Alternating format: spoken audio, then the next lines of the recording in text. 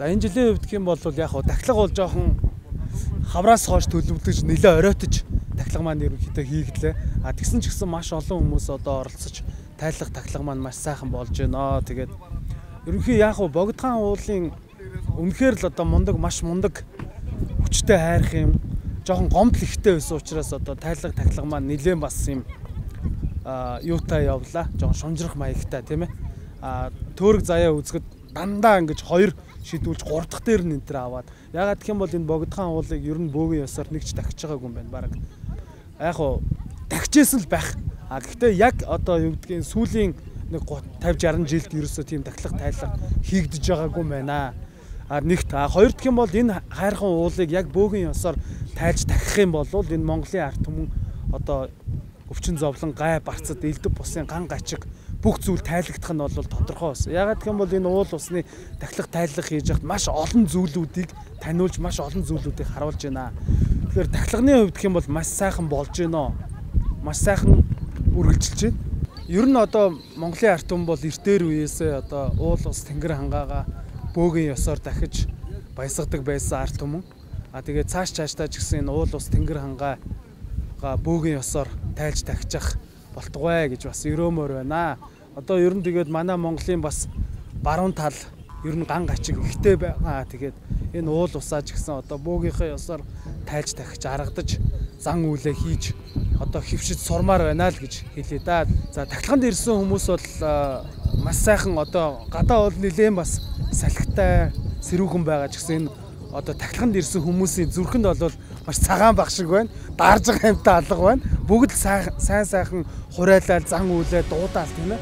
Чи монголчуудын нөгөө мах зүс сэтгэлдэн байдаг энэ бөөгийн зан заншлыг сэргээж зан үйлээ хийж байгаа да маш их баяртай байна. Тэгээ баярлаа.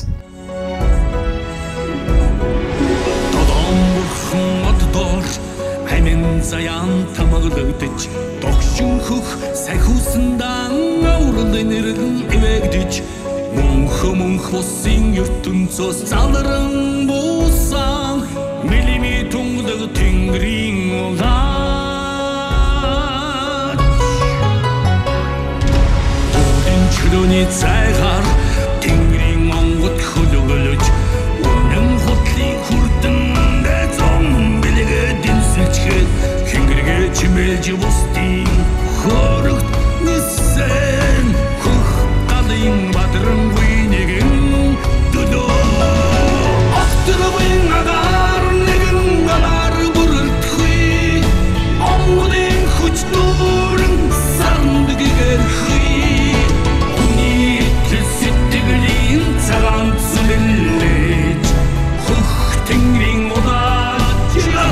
Війни, війни.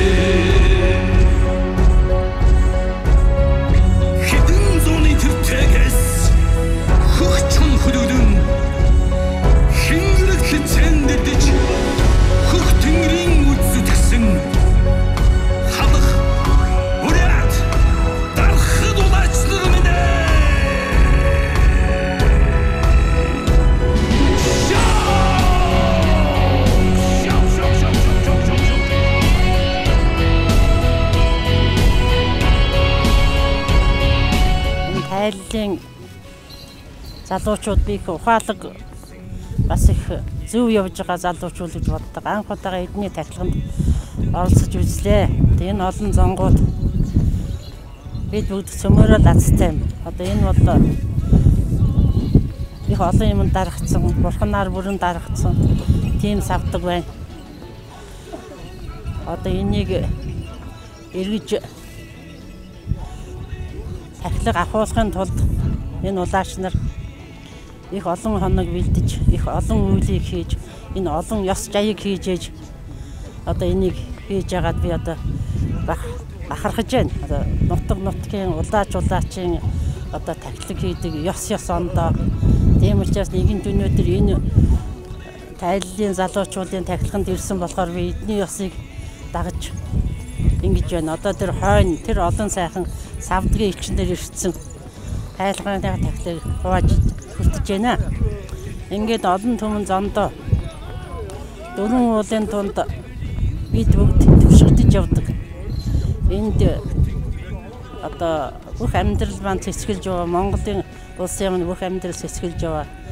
Тэгээ одоо энэ тахилаг одоо энэ Улаанбаатарт энэ өдөр ирсэн энэ олон түмэн зонгийн сэтгэл энэ олон том түмэн зонгийн итгэл энэ олон сайхан залуу улааш нарын хүч тэнгэрийн хүчээр Монгол минь одоо улс аас одоо юу ягаасаа гэж төрийн тахилгыг энэ ууланда бөө хүнээр хийлэгдэг болоосаа улааш нар хийлэгдэг болоосаа гэж одоо хүсэж байна.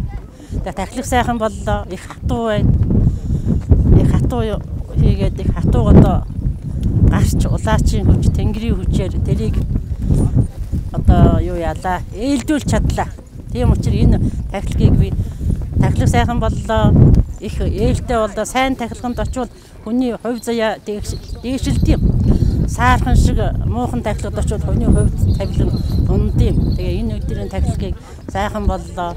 Та бүхний минь одоо энд ирсэн бүгдийнх нь дутуун дүүрс дундуур нь мэлтэлзэж өртөө бүтгэхгүй нэг нь өртөө болж ажил төрөл нь бүтгэхгүй нэг нь ажил төрөл нь бүтэж хүн хүний хувь тавилан гэдэг ой мод шиг уртлаа байгантайгаа хүн хүний хувь тавилан гэдэг бас ахар урт байдаг.